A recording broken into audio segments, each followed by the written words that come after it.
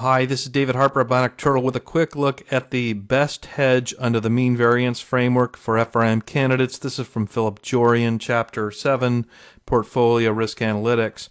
And before I show you the brief example, I'd like to show you this graphically because this is the easy way to understand this, I think. And the idea is we start with an initial portfolio with a value of W. And then under my assumptions, the initial portfolio has a volatility of $120. So graphically, that's plotted right here at this endpoint on this line segment. An initial portfolio, value of W with volatility of $120. Now the best hedge question is the following. We have an, an, a different asset, let's call it asset A, and we want to enter into a trade with asset A. That is either we want to buy it long or sell it short such that when we enter the, into the new trade, our new portfolio will be W plus some position in asset A. And the best hedge question is, what's that trade in A that produces the minimum volatility for the new portfolio W plus A? And so under my assumptions where there's positive correlation between the portfolio and asset A, that means our best hedge trade is going to be a short position in A. That's why we have negatives here. And this line plots the volatility of the new portfolio. As we short A, since A has positive correlation in my example with the underlying portfolio, it's a short in A that will give rise to a hedge.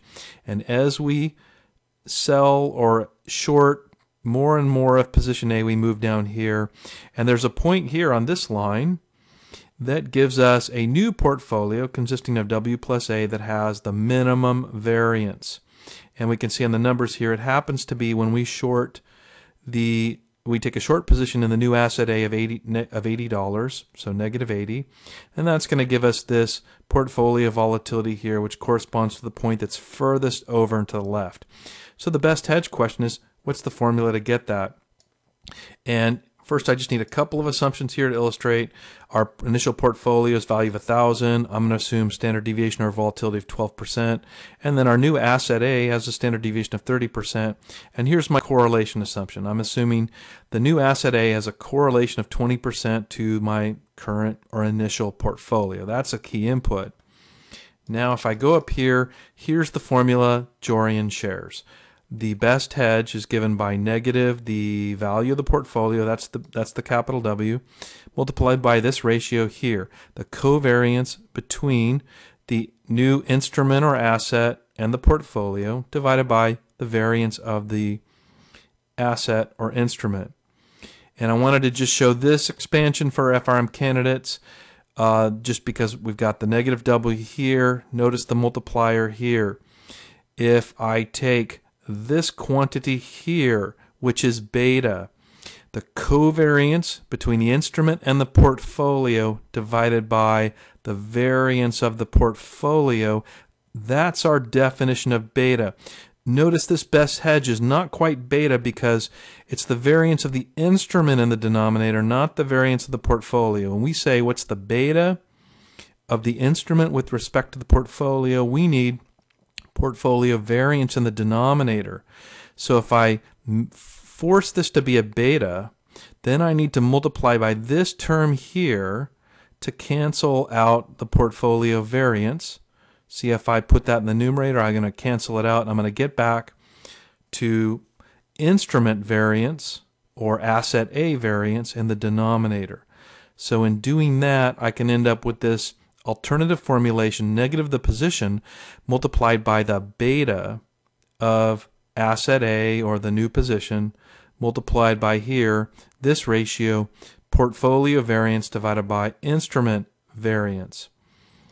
And so if I want to calculate this best hedge directly, then I'll do this then the following. I'll just construct this from the beginning.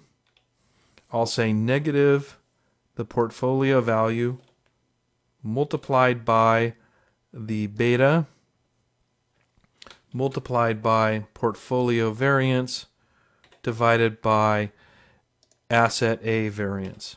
And I get the negative 80. Now I, I included the beta here, which is calculated separately. but we know that we know the beta of the instrument is going to be the covariance between the portfolio and the asset as indicated here divided by the variance of the portfolio. So under these assumptions, the beta happens to be 0.5. So that gets me the best hedge and tells me that if my goal is just to minimize the volatility of the new portfolio that includes asset A, under these assumptions about asset A, I want to take a short position of $80. And notice let me just change the correlation here to something negative. For example, negative 20%. Now the correlation between the portfolio and my new asset A will be uh, negative 20%, and that means my hedge is going to be a long position in asset A. So hopefully that's a helpful explanation of the best hedge. This is David Harper, the Bionic Turtle. Thanks for your time.